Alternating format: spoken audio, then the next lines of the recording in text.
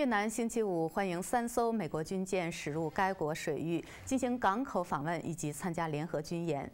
美国大使馆在一份声明中说，双方将进行七天的训练，内容包括航行、控制损失以及潜水和搜救训练，将不进行战斗演习。有关官员说，港口访问是事先安排好的。